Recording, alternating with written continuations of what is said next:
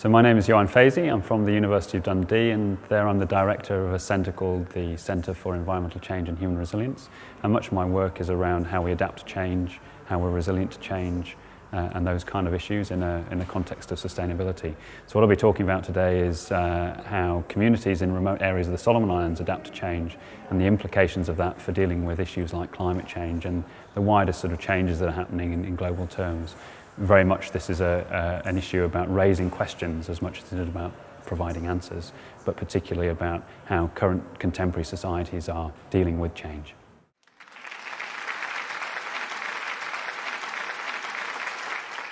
Great, well, thank you very much. It's great to be here this evening, uh, and thanks very much for coming because I know it's the time of year when everybody's out rushing to get their Christmas presents, um, and I haven't got mine yet, but there we go, I'm getting there. Um, and uh, it's really nice to be here, on, on, and especially given the weather. So thank you very much for inviting me to be here. It's great. Um, as, thank you very much for the introduction. Um, as has been kind of introduced, I have a fairly undisciplined background. I actually started off as a zoologist many years ago. I moved into kind of interested in understanding how, how do we understand what we know? How do we kind of engage with understanding what environmental change might be or various different guises around that. And I got very interested in the, in the, the concept of experiential knowledge as opposed to scientific knowledge and what does that mean? How do we kind of get our heads around that?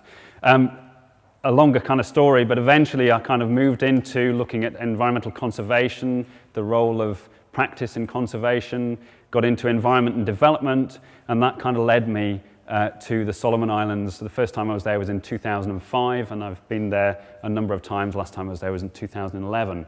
And really what I'm going to do today is, is tell the story uh, I'm not going to go much into the kind of scientific kind of aspects of what we did or the research aspects per se, but I'm going to tell you a story of, of, of kind of what we found in the work that we did there. And it's all about change. And this story really, if I, if I retitle that title, I would call it Change is Changing. And that's the kind of what, what the local communities are experiencing in, uh, in the Solomon Islands where we've worked. So what I'm going to do in this talk is I'm going to take you through the story of the Solomon Islands, and then towards the end, I'll draw it back in relating to what does this, the learning about how people respond to change, how does that, what does that tell us uh, about what we might be doing in terms of how we're responding to change at the moment, relating to COP21 or to the increasing work that's going into looking at resilience in communities in various guises or health in various different ways as well. So it's quite an open general talk. I'm not going to give lots and lots of details, but, but hopefully you'll find the story uh, of interest in general. Okay, let's see where we are. Okay, setting the scene. We know the world is changing. We know the planet is changing. We've got major kind of challenges that are starting to, to affect us in terms of climate change. Uh, and that's really the backdrop to this talk is that um, uh, if we really want to address things like climate change or contemporary, contemporary kind of global challenges, whether it be obesity, whether it be addictions, these are all kind of sorts of products of the current way in which society is organized. So the backdrop to this talk really is that if we want to really kind of address these things, we have to be thinking in fairly transformative ways about how we address society. Tweaking around the edges is not going to solve the problem. Using the same tools and methods to address the challenges that we've got that we've that kind of created them in the first place are not going to address those challenges. So really the backdrop to this is that the world is changing. We don't know what the future is going to look like. We have some real in, interesting opportunities in terms of shaping that in various guises. But then there's lots of questions about how do we shape that? If we, if we accept that premise that significant change is needed, how do we go about doing that? And, and so the backdrop to this really is about about this sort of processes of change that are affecting everybody around the world in various different kind of ways. And what I'm going to talk to about is about this. This is your kind of you are here kind of uh, statement um, uh, uh, in terms of where I'm going to take you today. This is the Solomon Islands up in this point up here. This is Papua New Guinea, the top of Australia. So you're about two and a half thousand kilometers uh, northeast of, of Brisbane in Australia. It's about three and a half hour flight from, from Brisbane to get to the Solomon Islands. The Solomon Islands are, are these, these last six islands, six large islands-ish, that come off this, uh, this uh, Papua New Guinean archipelago. It's bordered also by Vanuatu as its next neighbour, and then you've got Fiji down here and, and New Zealand at the bottom there. So that's where the Solomon Islands are. It's not a very well known kind of place. Um, it's got a population of about 650,000 people, something like that.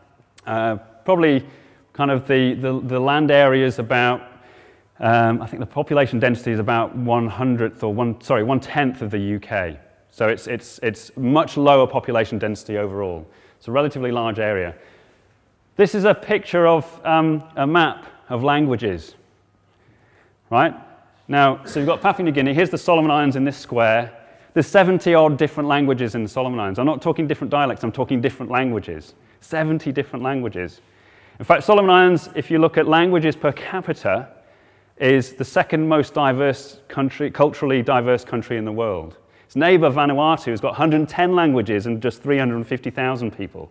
If you stick Vanuatu together, Solomon Islands and Papua New Guinea, you end up with 11% of the world's languages in a tiny, tiny, tiny fraction of the population. It's incredible, incredibly culturally diverse.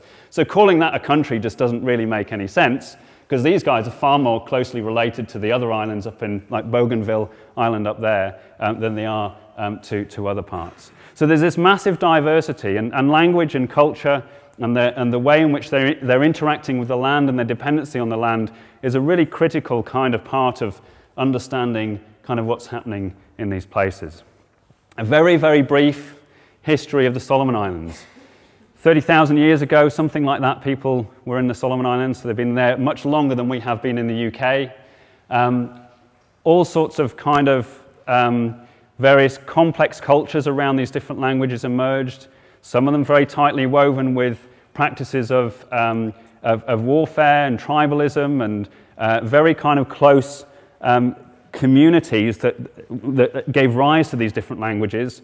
Very also high, high species endemism, sort of biodiversity, species that you only find uh, in the Solomon Islands. There's, there's a lot of species that you only find in the Solomon Islands. So there's a very strong correlation worldwide between the species endemism, local species, and languages, interestingly. So, not surprisingly, the, the way that the languages have emerged is through this um, close isolation. And part of that was driven by warfare. So, they were, they were real headhunters. This is the kind of place where headhunters uh, were found. And, and that's a real um, old shrine of, um, uh, uh, from, from the headhunting kind of era. Kind of come to the 19th century, things started to change dramatically. So people didn't really start arriving, Europeans didn't start arriving in, in the Solomon Islands till about the 18, early 1800s. Uh, in fact, I think the first Europeans were 1590, but it took another 200 years before anybody else got there again from, from Europe. So they were quite isolated for quite a long period of time. Uh, and at that time, you basically got traders coming in, whalers coming in, and missionaries. And that started to change things quite dramatically. And so you got the missionaries coming in at that time. There was a lot of blackbirding, which is a kind of process of tricking people to, to, onto the boats to go and work in other places like Chile and Australia, uh, in the cane fields and so on. So the kind of a history of, your usual history of Europeans arriving then uh, uh, things sort of kind of falling apart a little bit in terms of the structures that were already there. Lots of trading and so on. Does anybody know who this guy is? William Rivers. Anybody come across that before? Has anybody read Pat Barker's book uh, on regeneration? Yeah, if you have, stick your hand up. Can you see? Yeah, a few of you. Okay, that was, that was all about William Rivers. Interesting guy. Anybody read The Ghost Road, which is the last book in the series? One or two. That was all about the Solomon Islands, right? So, in fact, this guy was a real, real guy. He was a, a psychiatrist in the First World War. The story that Pat Barker writes and the novels around that are based on this real person who was based at Craiglockhart Hospital in, in Edinburgh, and he, tr he treated um, shell shock victims. Uh, in, and, uh, but former, in, in, his former life, he was an, an, an anthropologist, and uh, he was one of the first anthropologists who worked in the Solomon Islands, uh, this very remote kind of place. Uh, and a tiny, tiny little um, uh, island which is now called Simbo Island, which is one of the semi-active volcanoes. And he talks a lot about the, the, the decline in the culture and the, the, ways that the culture has operated and, and how that kind of affected uh, local communities there. It's a fascinating story. And what I'm going to do is I'm going to pass this old book around. I found this copy in a, in a, in a, in a how, how, just pass that around. This is his very famous book. And it's actually about the depopulation in Melanesia. It's about the decline in the populations. So initially in the, 19, in, in the, in the 19th century, there was a massive decline uh, in, in populations in the Solomon Islands. Uh, and uh, this book is all about that. And one of, the, um, his, one of his contributions was that uh, at that time was that, that psychological factors have a big in play in that. So as the culture changed dramatically, he calls it a kind of loss in interest in life almost, and that he felt that that was a contribution to the, to the, to the changes that were happening in that period. So very interesting, this whole book is about depopulation. Later on in this story, you'll hear about the rising population that's been happening and the effect that that's having as well. So kind of very interesting history in the, to the background uh, of the Solomon Islands. And then this goes on into the Second World War, very famous. The Battle of Guadalcanal was where, um, where the, the advancement of the Japanese was halted uh, by, by the Americans. It's where they came into the war and they started pushing the Japanese back, back up, up through the Pacific again. So a very, very large naval battle, one of the largest in, in the Second World War. Uh, and you can still see many relics from that.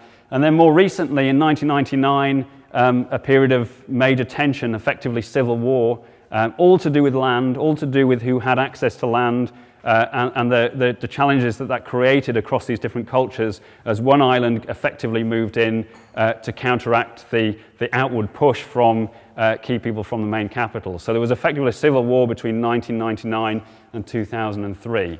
Uh, and, and that, when in 2003, the Australians and, and New Zealanders and, and other Pacific Islanders came in as an intervention force to push that back out again. So there's this whole kind of period of shifting culture, kind of confusion and, and, and, and complex kind of interactions between the different cultures in, in, in, the, uh, in the islands. Overall, it's a very, very peaceful place. So you get these sudden eruptions of tension that emerge, uh, mostly based around resources and, and land use and ownership around that. Many communities in the Solomon Islands are, are kind of like this, really. This is a, um, a, a picture of a village um, called Runaga village, and um, uh, this is a, a, relatively isolated village, but they're very, very basic. Many of them are very basic. They don't have a lot of material goods. Um, they're very, very reliant on the resources that they have around them. So incredibly reliant on the, on the sea resources, the, the fish uh, and, the, and the shellfish. Very reliant on the stuff that they can get from uh, the forest. Very reliant particularly on the food gardens. So they have lots of extensive gardens where they produce mostly um, sweet potatoes and those kind of uh, root vegetables uh, that, uh, for their sustenance. Um, the, the, the, huts are actually really well built. They're very flexible, very vent well ventilated. Um, they're leaf huts, but that's a, quite a lot of work to keep those kind of maintained. And again, they're very dependent then on the sago palm that they use for the leaves around that. Schooling is, there are schools there, but they're very basic, very, very basic kind of schools. Um, and you know, it, it's a, a, ramshackle, ramshackle kind of type of classroom uh, with very, very limited resources. If they'll have a book if they're lucky. You know, there's very, very kind of limited resources there. But they're very, very much dependent very, then on, on the subsistence livelihoods that they can get, the things that they can get from the materials around them uh, uh and, and use. When I first went out there in 2005, you didn't see people with shoes, you didn't see torches, you didn't see anything really like that. Very, very basic uh, in the area that I've been working in, um, in terms of uh, the material goods that they have. So the area that I've been, mostly been working is in one of the south, southeastern islands, and it's called Makira Island. Uh, and it's one of the poorer islands. It's about kind of 120 kilometers long, 30 kilometers wide, steep-sided mountains going right up from the coast up to about 1,000 meters or so, 1,500 meters. And as you can see in this picture, this is the particular area. It's an area called Kahua, and there's about 30, 40 villages, and they're mostly predominantly located on the coastline. Traditionally, a long time ago, 100 years ago, they used to be located inland. It wasn't safe to be on the coast because of all the warfare and so on.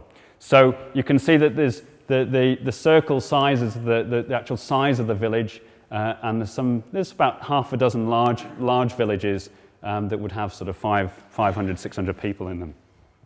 Uh, and really the work that we did is I've been working through a local association called the Kahua Association, which is a, an attempt to try and bring people together from different communities to address some of the challenges that they're facing in terms of things like resource use and so on. Uh, so that's broadly what we've been doing there. And the model that I've, I've been using when we go out there is not to try and do the work ourselves, is actually to engage local people and actually doing the research with us or for us even, uh, and actually being part of the, the process of, of engaging with their own communities and, and, and drawing on the expertise that they have in their own understanding of their own kind of situations. And this is a kind of typical picture of um, what you, when you look at Kahua from, from the coastline. And it's kind of an interesting picture. It looks nice and lush and green and very pretty, pristine. But in fact, That's a highly, highly modified kind of environmental system. Um, so this is a steep-sided mountain. This is probably going up to about 400 meters at the top there in terms of height, straight from the, from the reef at the bottom. There's actually a village hiding and nestling in here somewhere. You can't even see it. You can see all the coconut trees. These are all the trees that are high-valued kind of trees. Um, and then there's a lot of, lot of vines. So you can see a lot of um, areas where uh, trees have been cut down and vines have grown very quickly above that. So highly, highly modified. The other thing you can see in here is um, you can see some food gardens. You see that little brown patch up on the, on the top there? Yeah. So that little brown patch is a food garden. So they clear the area for, and, and, they plant their, their, their produce um, and, uh, and, uh, uh, uh, uh, and then they rely on those as, as a source for where their food comes from. The white trees, that's interesting. There are no large trees left in this place. And these are kind of medium-sized trees. The only reason why these white trees are there is because they're nut trees. They're gnarly nut trees. And uh, so the trees that have a value other than timber remain. Anything else is already gone. So this is a highly, highly intensely used kind of environment. And um, what the um, communities have been finding is that uh, they're increasingly experiencing the change in the sense that there's a reduction in, in, uh, in all sorts of things that are happening. So they've got a reduction in the yields in the gardens, the amount of food that they get out of the gardens. So they might plant the same things, follow the same rotation patterns, but they're getting less food out of it. Interesting. Um, there's a reduction in the space for gardens. There's increasing pressure to have more and more gardens. And when you've got uh, more space for gardens, it, or sorry, less space for gardens, then, then you're struggling to get the same rotation patterns that allow that, that land to regenerate. So that's one of the uh, reasons why they're getting a reduction in the yields of the gardens. When they've got less space for gardens, they're having to put them higher up on the slopes, on steep-sided slopes, so they're more prone to landslides and, and things like that. So lots of changes happening along there. Building resources are declining. They don't have enough timber. They're having to walk much further to get any timber to get that out if they want to build a house. And then marine resources are declining. It's very difficult to manage the shellfish uh, and the pelagic fish that they get from, from the oceans outside. This is a kind of typical picture of a, a, you know, if you go inland a little bit, you see the banana leaves in here, massively modified, intensively used kind of environment. And these are the, the sweet potato kind of planted kumara that's uh, at the bottom there. So lots of changes in terms of environmental changes that are happening.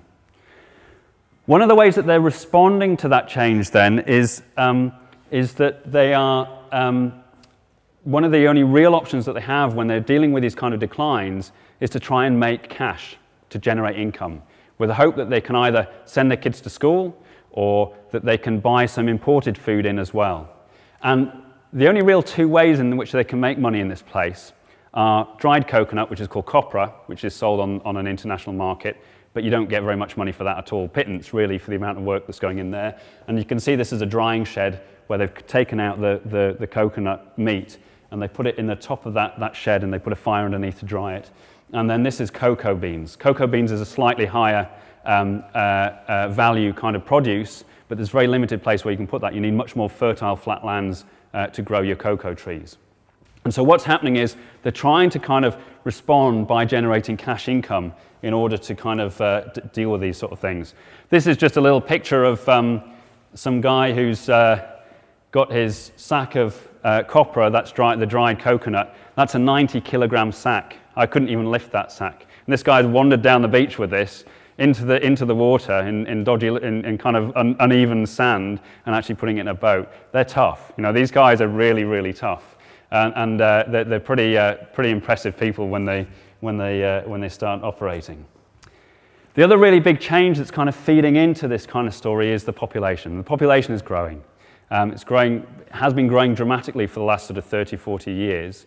Um, and uh, there are kids everywhere. I mean, we, we, I could give you some figures about the population growth if I could remember them, uh, but they're you know, pretty dramatic in terms of the sort of doubling rates that are happening at the moment. And that's putting a huge pressure on the kind of availability of the resources in their immediate kind of uh, areas that they're living in. I spent a long time talking to um, uh, people, and we were trying to understand, by talking to many, many people there, why was the population now growing? If you remember, Rivers' story was all about oh my goodness, the, we, have got a decline in population. That was their worry in the 1920s, and now there's a massive increase. And basically, the, the, the elders and, and many of the, and the women kind of really came to the conclusion that you know, in the past it was really difficult. There were natural processes that, that kept population low.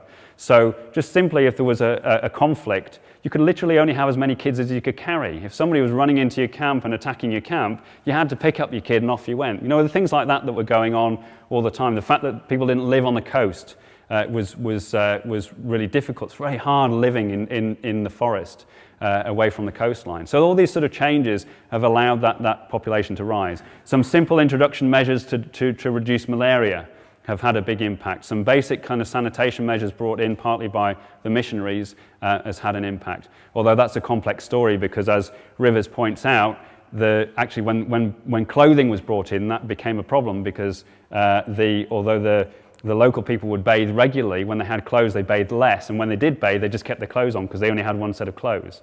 So there was kind of a complex thing going on there in terms of sanitation and health around uh, those sorts of challenges, which is complex.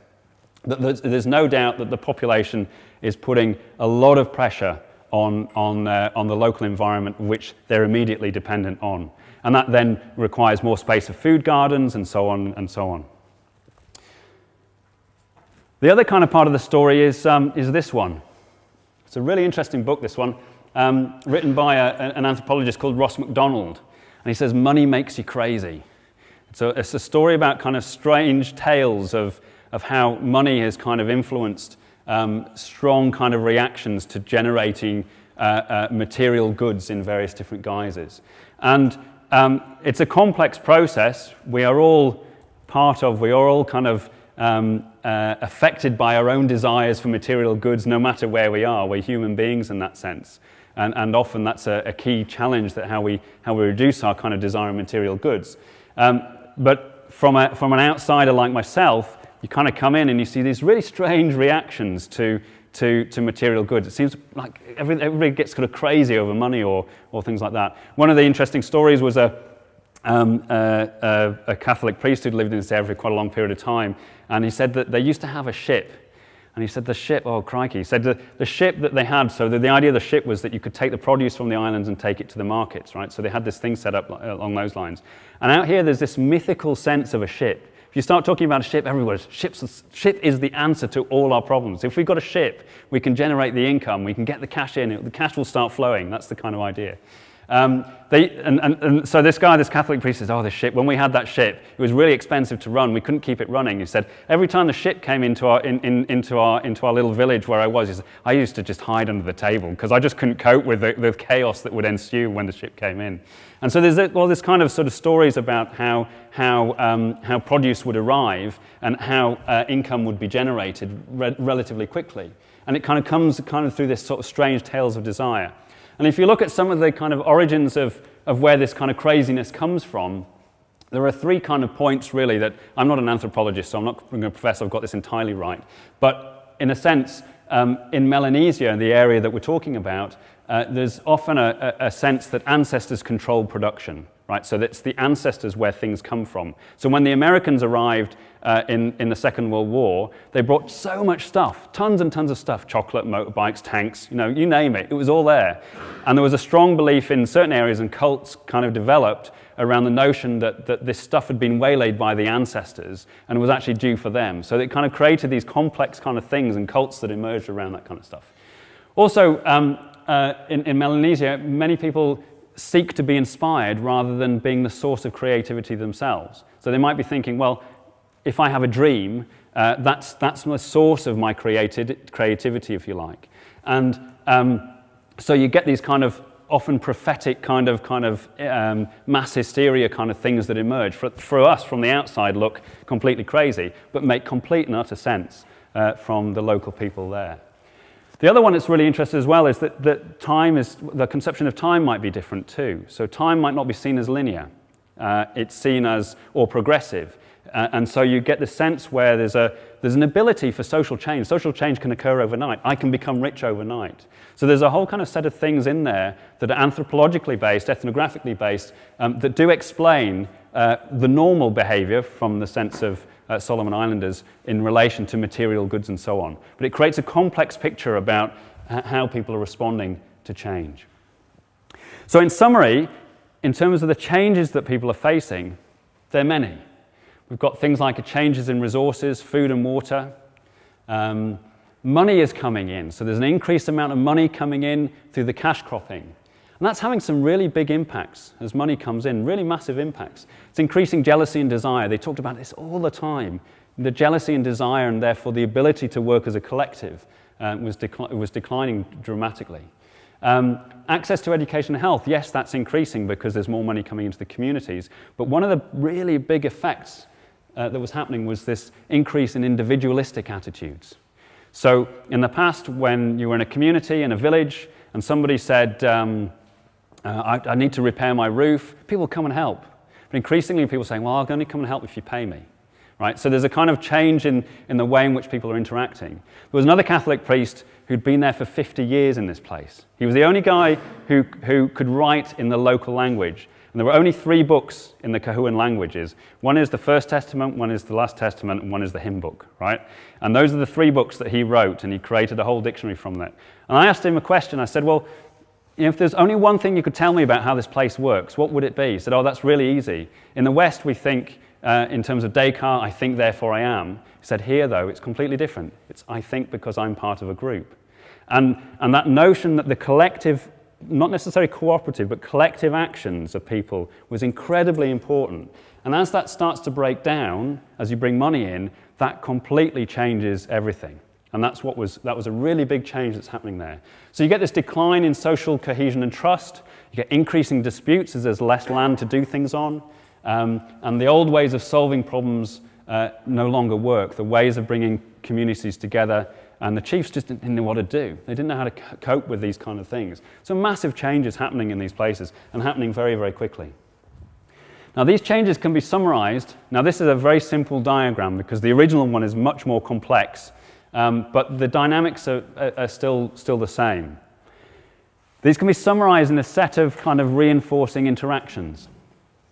Um, increasing number of people increases the pressure on the ecological systems in terms of the environments. It's increasing the stress in communities. People make, trying to make money to address that problem. They're planting, they're, they're planting cash crops but that in itself is having an impact on increasing pressure on the environment. So they're planting cash crops in the fertile land, they're having to shift all their, all their gardens up onto the less fertile, steeper sided slopes that are more prone to, to landslides and so on, which affects the yield. So that reinforces the pressure on the ecological systems. At the same time, when they plant cash crops, there's more money coming in communities, but that's increasing this individualistic attitude kind of idea, which is decreasing the social cohesion and trust, and in itself reinforcing the stress, which just makes people try and do their individualistic stuff more because they're looking after their self more. So you've got this set of cycles that are happening. When you get more money in communities, also people see stuff, material goods, so they want more money in order to, to kind of fuel that kind of desire in a way. So there's these complex things that are happening in there um, that are, are, are driven by many, many things, but there are three kind of kind of key drivers. I don't like the word drivers very much, but there are kind of three key drivers that are affecting that number of people. Intrinsic desire is really important. We're all familiar with intrinsic desire for economic prosperity. But the interesting and counterintuitive thing is that most of the development programs that are really about trying to generate income in communities, by generating income in communities, they're also reinforcing some of the challenges and the changes that are happening in the place as well. So our external interventions that are, that are coming into this place are potentially having, well, they're having some positive impacts, but they're also potentially having some counterintuitive uh, impacts as well. And, and that, that's a kind of key challenge in the community. And what you can see in here is that you can, if you follow these through and you go, okay, we'll change, we adapt, we change, we adapt, it's reinforcing itself. And it's actually accelerating what's going on. And one of the, um, uh, one of the, one of the um, uh, really interesting conversations. We did a lot of focus groups with lots of people, using local people to manage them and facilitate them. And there was one group, and, and they, got, they got really, they suddenly clicked and they said, it's not, because we were asking them well, what's changing, and they were explaining all the changes. And then in the end, they just said, we really now understand. Change is changing. The change, the, the, the, the speed of the change is getting faster. We can't cope with this.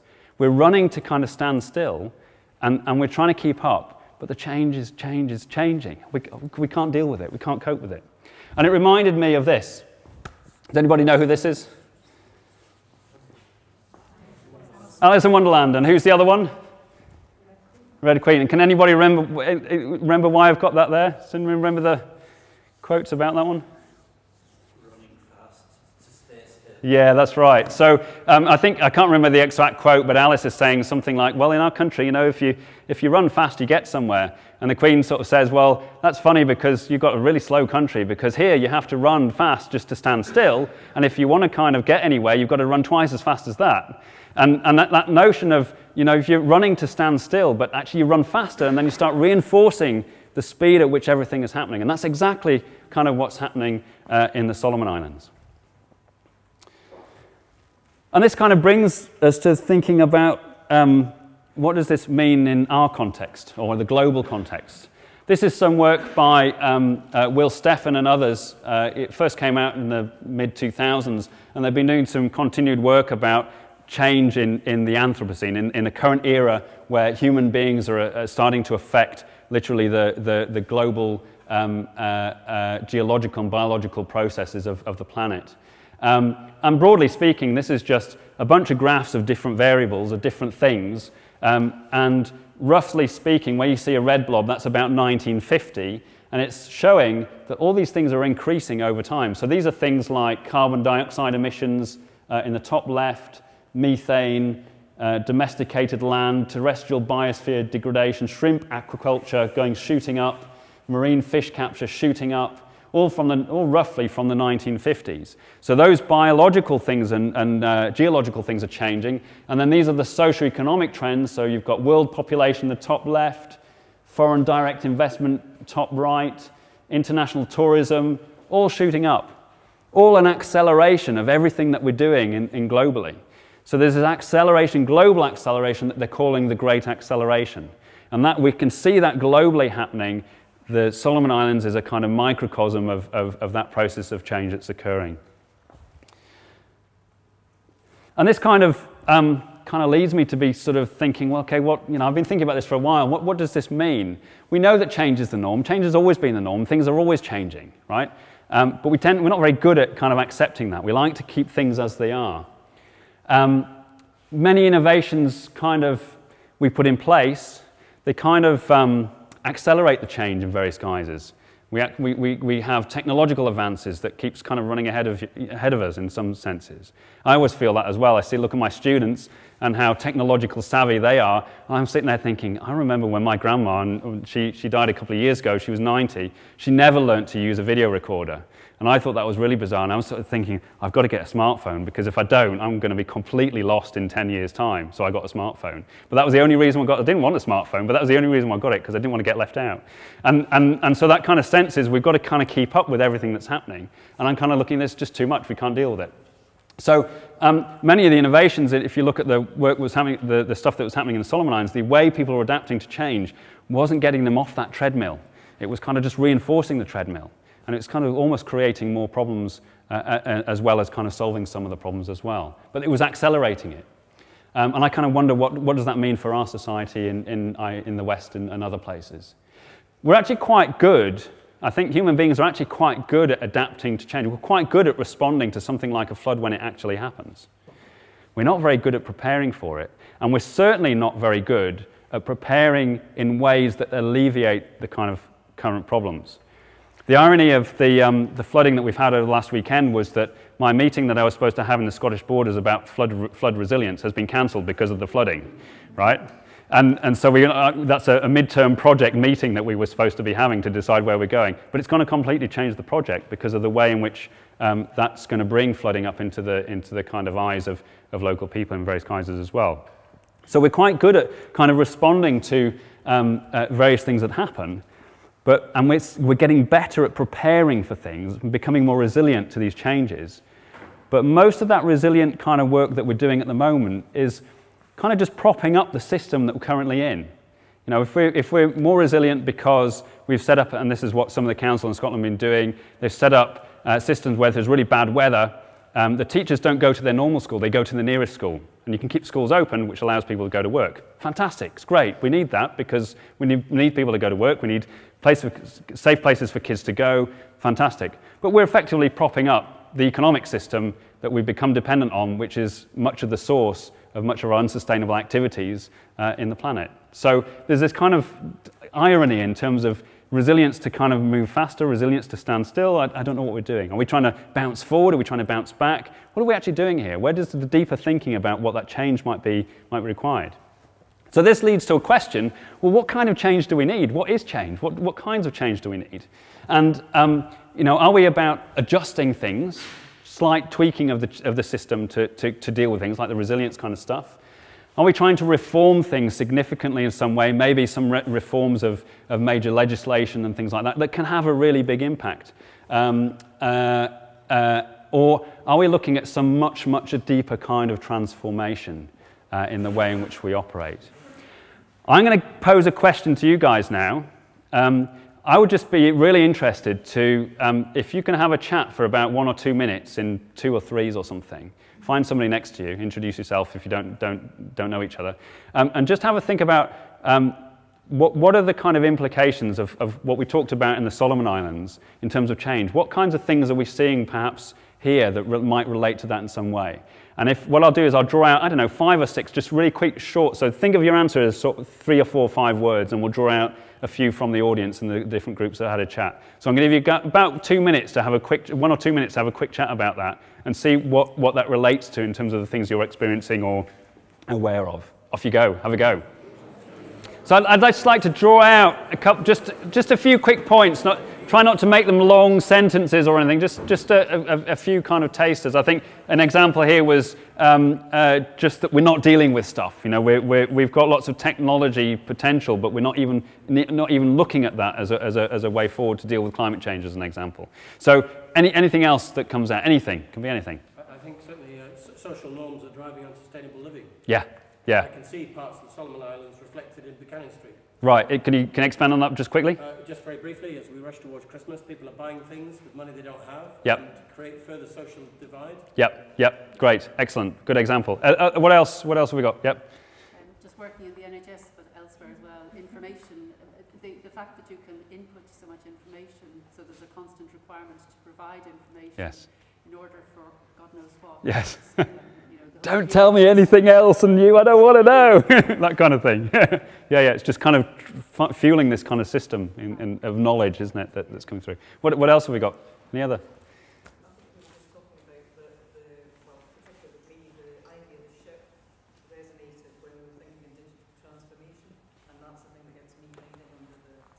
Yeah, could you, could, you, could you explain that a little bit? Well, I think the ship was going to be the answer. Yeah. Yeah. Gotcha. Yeah. Yeah, yeah. Digital's going to save us, but we don't know where it's taking us. Right. Yeah. Yeah. That's a great, great analogy. Great. Just in parallel with the Solomon Islands, you saying that um, because of their culture and the way they view time, they couldn't see change the way that we see change. Yeah. And that created certain problems. As we were wondering, what is it we can't see? Yes. How much we discussed it here today. Yes. Yeah, yeah, absolutely. Yeah, yeah. And sometimes you need somebody from the outside to come and go, oh, why are you looking at it like that? And or, or even, but even our, our, concept of time, what does that mean? And how is that influencing what we're doing as well? Yeah, is it helpful? Yeah, yeah, yeah. What else we got? Yep.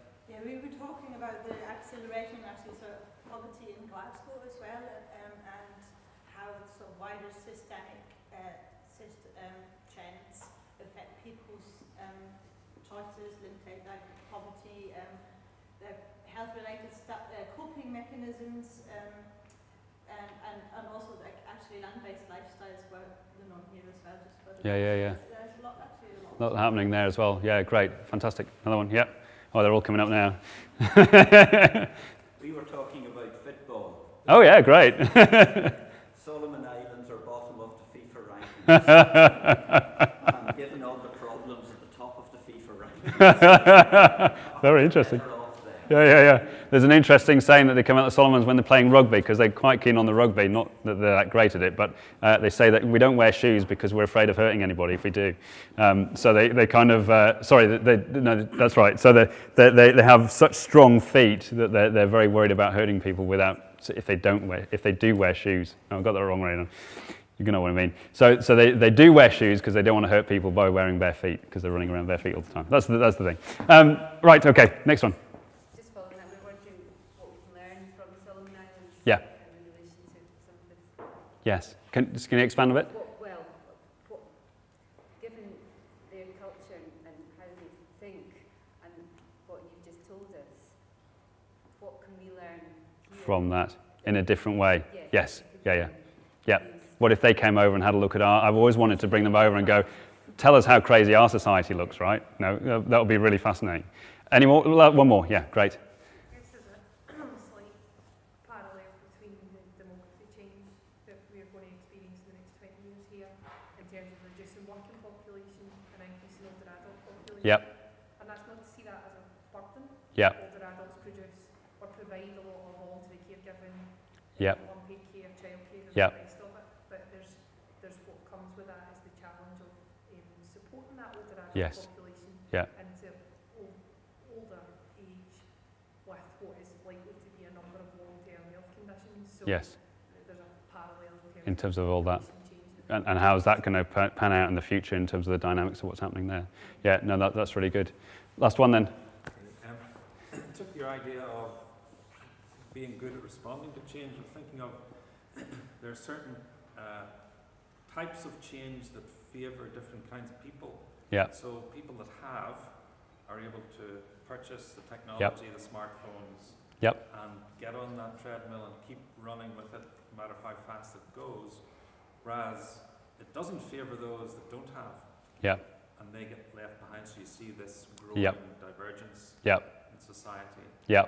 And, and, that's and that is exactly what's happening in the Solomon Islands. You can imagine those who've got access to the cash cropping or the land to put the cash crops on, um, uh, massively increasing their. I mean, the inequalities there, they, at the face of it, don't look very big, but, but they are massive, in, and it all comes down to land and opportunities of land. Um, so there's a lot of kind of issues uh, uh, affected by that as well. Great, that's excellent. So, um, so really, I mean, there's a whole bunch of things in there, and I, I could go on forever. Um, I, I'm just going to very briefly kind of touch and draw on that. I mean, I think when we're talking about, if we're talking about the change of change, um, we have to ask ourselves, what kind of change do we need? And What kind of change do we want? And this is just um, uh, a bit of work that's come out of uh, Karen O'Brien, who's based in um, Oslo, and she's drawing on uh, Sharma's work, which talks about three spheres. And it just sort of highlights some of the stuff. Well, we can create practical kind of changes, and we're quite good at that. We, we're, we're, we're quite good at producing technological changes, technical changes, the digital, digital stuff, and so on. Um, we're quite good at it. We don't do it very well, but we can actually do it if we put our heads together. But then there's also the other changes that need to come through as well. The political, these are the systems and structures that influence the practical. Um, we're really not very good about changing those generally. Uh, and certainly, perhaps even more importantly, we're definitely not very good at changing the values, beliefs, worldviews, assumptions, the norms that are in society and so on that are influencing all of this stuff as well. These changes come slower. But if we really want to address things like climate change and other global challenges, it's at that level that we need to be hitting.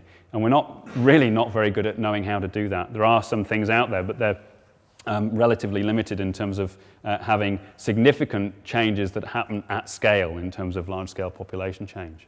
Um, and I think this is just a quote that comes from uh, Mark Pelling. He's done a lot of work on resilience. Uh, and he says, perhaps the most profound act of transformation facing humanity as it comes to live with change requires a cultural shift from seeing adaptation as managing the environment out there, providing resilience in communities, that kind of thing, um, to learning how to reorganize relationships, pr- procedures, and underlying values in here.